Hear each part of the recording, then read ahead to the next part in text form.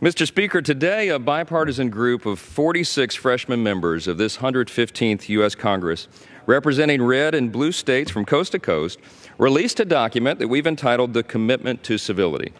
This evening, I'm grateful to be joined on the floor by 21 different leaders of our class, representing diverse districts in 15 different states across our great nation, to speak to this important and very timely issue. This commitment document was created in early January following our initial meetings together as a class.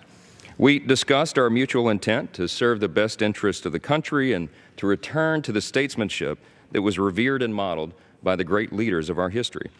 I drafted this document to memorialize our members' agreement to, among other things, work, work towards restoring collegiality and civility in the Congress, encouraging more productive dialogue, and building consensus and strengthening the public's trust in America's institutions. This document is not intended in any way as a criticism of anyone else in any other chamber or branch of the government. Rather, it represents the mutual commitments of the members of our class that we have made among and between ourselves. As we teach our own children, we often have no control over what others may do, but we are ultimately responsible for our own actions. Personally, I want to say how encouraging it is to work with others from across the political spectrum who want to lead by example and work to restore civility in our public discourse. There may never have been a more important time for that very important effort.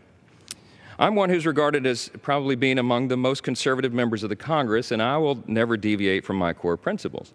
However, I am mindful to always remember that while some of my colleagues and I may have very different ideas and core political philosophies, at the end of the day, we're all Americans, and we're all made in the image of God, and thus we believe we should act accordingly.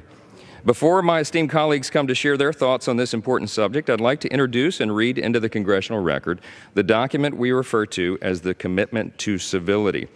It reads as follows Quote, as new members of the United States House of Representatives and as individual citizens, we recognize the gravity of the responsibility we've been given and the significance of this moment in the history of our extraordinary country.